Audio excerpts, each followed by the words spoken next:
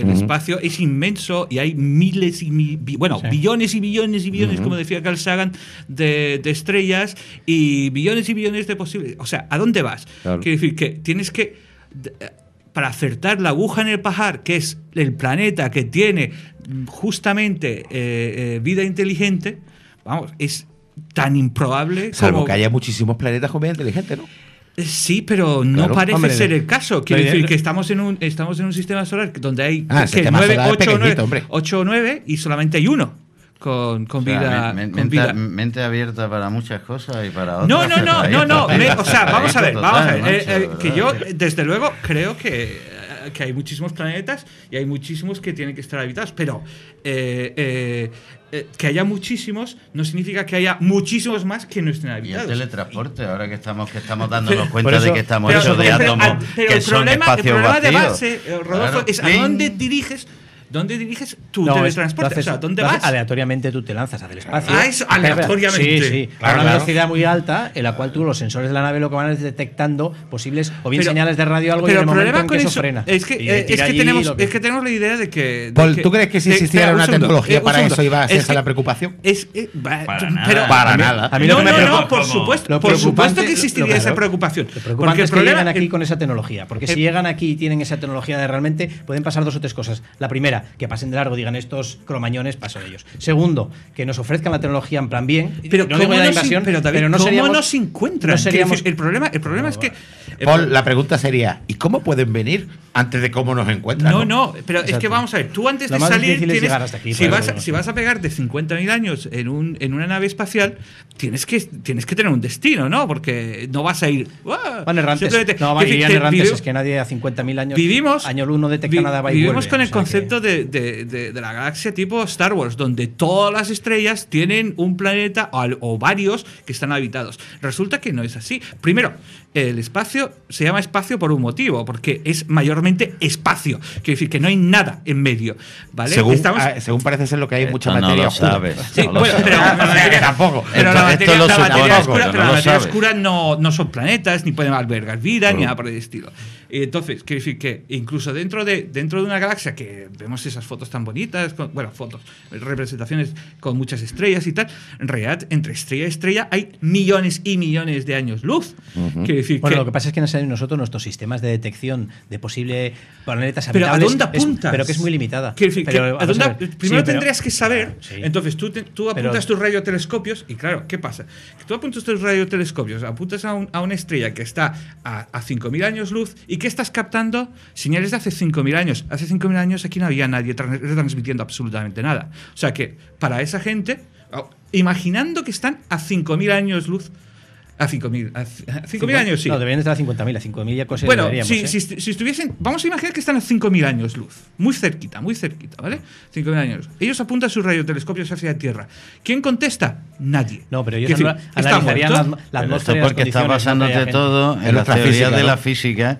¿eh? Salieron recientemente los neutrinos demostrando que Einstein se equivocaba, que había algo que corría más la No, velocidad de la luz. que era falso. Claro, no se demostró, perdón. A los físicos se preocuparon mucho y dijeron, joder, nos cargamos todo, tío. No, vamos a, señor. vamos, no, no, no, Conspiración. vamos, no, conspiración, por Espera, supuesto que espera, sí. espera, Vamos a espera. decir, oye, que No. hemos equivocado, que los neutrinos van más lento, que la luz sigue siendo el patrón, porque en cuanto te carguen la C del igual al M al C cuadrado, se va todo al garete. Pero y eso que le llamas tú años luz, así, eh, pues, ni la luz ni La el año. Mira, yo soy de la opinión que el tiempo no se puede medir. El tiempo no se puede medir.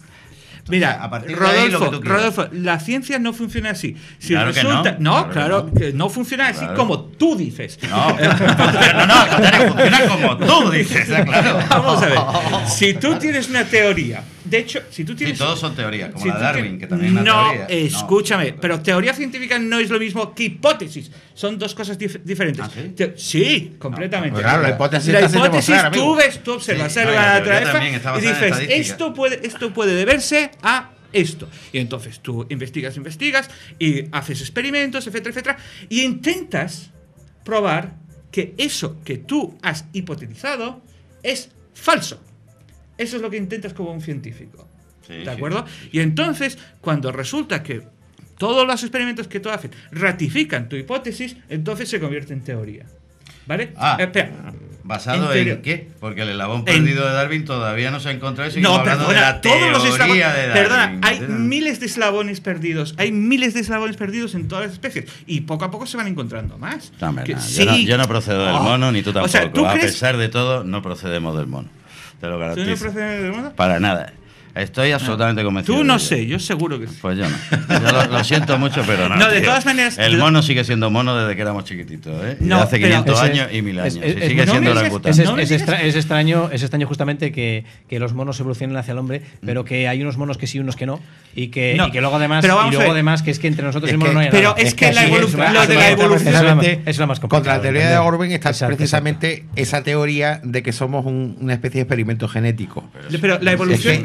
Los Mira, darwinistas de era una secta, yo, y además Que conspiradora, que venían a cargarse la religión. Además, el entre la otras palabra- cosas. Miradlo por las redes, La palabra, hay mucha información. la, pa- el dar- eh, la palabra darwinismo, de hecho, lo estás, eh, por- eh, lo estás utilizando, es una invención, la palabra darwinista es una invención de los creacionistas. No se habla de darwinismo en el mundo científico, se habla de evolución de las especies, punto. No se habla de darwinismo. teoría, Va- teoría de la evolución. de Claro, la espe- porque una de teoría es una teoría porque ha llegado al, al grado, no ha llegado al grado de ley, o sea, tienes hipótesis, Ah. Escucha, Dios mío. en el mundo científico tienes hipótesis, teoría, ley. ¿De acuerdo? Ley es, es, eh, la, es algo que se ha comprobado Mm. científicamente. Normalmente las leyes se aplican a, a ciencias muy Por abstractas ejemplo, como las ley de la, matemáticas. ley de la gravedad y estas Exacto. cosas. Lady Gaga también, ¿no? Es otra ley. Lady Gaga. Gaga, Sí, ¿no? sí, sí, sí, No sé quién la habrá pero comprobado, ella pasó de la teoría. Pero vamos a ver. Entonces, Porque por ahí se duda. otra- Es una hipótesis, porque no se sabe si ¿Tú un sabes por qué teoría. hay Entonces, Einstein? eso- Es verdad. ¿Por qué hay Einstein saca Déjalo la, que saca la lengua en las fotos, tío? Vamos a ver. Teoría y Pues, quizás. ¿sabes, No. ¿sabes por qué Einstein saca la lengua en las fotos? Ay, Dios. Pues exactamente por la misma razón que el tío que hacía el calendario maya se descojonó cuando acabó el círculo, ¿me entiendes? En el 2012, exactamente lo Dijo, mismo. ya, ya seguirán Bueno, en el 2000. bueno, el- el punto 2012 primero, seguirán punto primero. otra piedra. Nosotros, nosotros no venimos de los monos modernos. Tenemos un antepasado común que no existe ya. Yo soy más humilde que tú. Nunca sería capaz de afirmar las cosas con tanta rotundidad cuando tú realmente eres tan un Bueno, ser humano como yo. eh, perdonadme Pero que haga un inciso Pero porque. es que hay, hay- hay- hay una cosa, hay una cosa que, que Dejémoslo. aquí, que aquí, no sé, que aquí eh, no parece, no parece comprender par amigo. Rodolfo.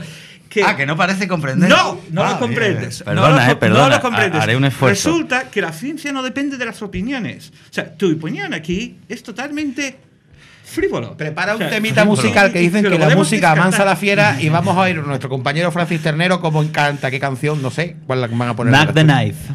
Vale, a ver si se amansan a estos ver. dos y podemos seguir hablando que queremos hablar del tema de las conspiraciones. Así que oigamos a Francis Ternero. Muy bien, para todos vosotros.